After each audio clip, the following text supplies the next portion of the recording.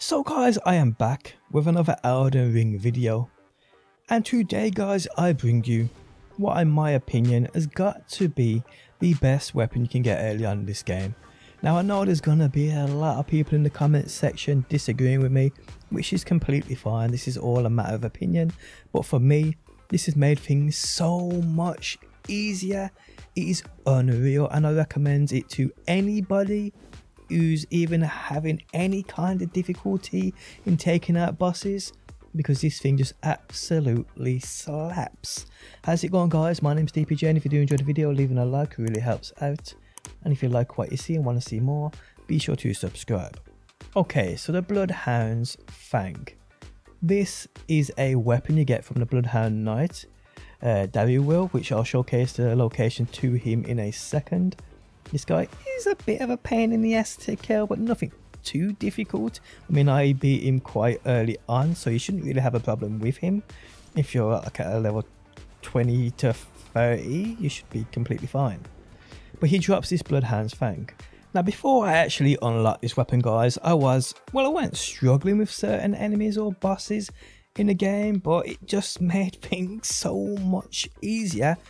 It's unreal. Now forget the fact it causes blood loss buildup, which is a great attribute on a any weapon. What's absolutely incredible about this and makes bosses way way easier is its left trigger ability. It's kind of like a swipe then jump back. Now don't underestimate this guys in a game like this because for the simple fact it's all about dodging, ducking, weaving, blocking this and the other. This basically does it all in one movement and I mean, I was farming, well, trying to farm, I was trying to fight a boss yesterday. I wish I was farming him, I ain't that good yet. But I just couldn't kill him.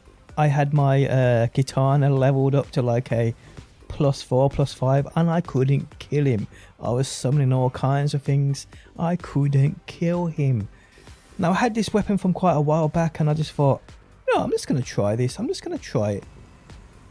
I, first try, guys. I beat him first try with this thing and I've been using it ever since. I've leveled it up since then.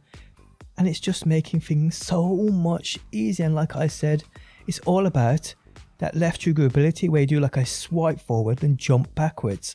What this is basically doing for you is it's adding a dodge automatically in after a powerful attack. Now, it will use focus points, a small amount of focus points to do this. But still, guys, it is so underrated. I ain't seen no one talk about this, not really and it's a lifesaver. I mean, it ain't just on bosses either. When it's farming enemies, you're trying to kill an enemy. I mean, it just makes work and things so much easier. It, I mean, I can't stress it enough. Like I said, I ain't amazing at this game. I don't claim to be amazing at this game. I know there's people out there that are watching. It's going to be like, yeah, there's way better weapons later on in the game, which I understand. Of course, there's going to be better weapons later on in the game, which do all kinds of magic sorcery shit, which I can't wait to get my hands on. But within the early stages, guys, I'm a level 50. I still, in my opinion, I haven't used. I've got plenty of weapons. I've got tons of weapons. I mean, I've got. I've been farming. That's all I've been doing. I've been running around looking for them and picking them up and gathering them. This is the best I've used so far. This is the best I've used so far for more or less every instance that I've, I've come across. I mean, I've tried many different things, but this is just it's just way, way better. I mean, it's kind of slower than my katana, but it's much more powerful. And like I said, that, that left trigger attack is where it's at. It's so underrated. It just makes work on many bosses just so much easier. The way you can just hit them with a powerful attack and jump back in one action so they don't get you. They don't react quick enough. They don't counter you. Guys, it's just a must. It's just a must. And once you get the hang of it, once you get that timing down perfectly, there's not many enemies in the game. Obviously, the bigger guys, the more tanky guys that have that range attacks, are obviously going to cause you a bit of trouble.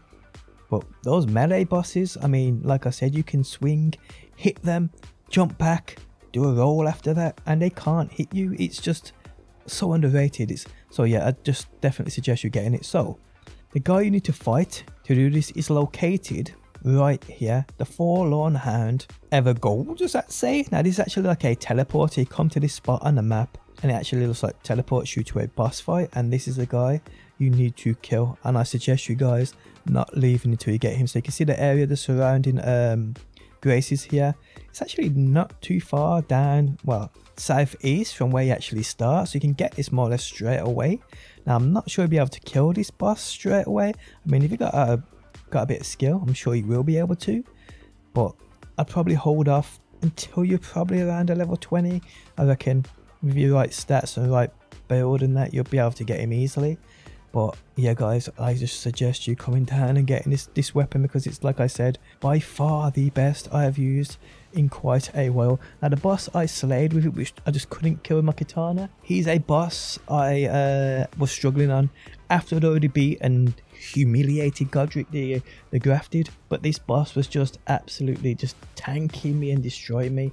As soon as I got this weapon, guys, he had no answer. He had no answer and that boss's name was the Royal Knight Loretta, who, if you fought him, you'll know he isn't too easy, but like I said, this, this weapon just made things so much easier, guys. Just, just swiping him, jumping back, swiping in, jumping back.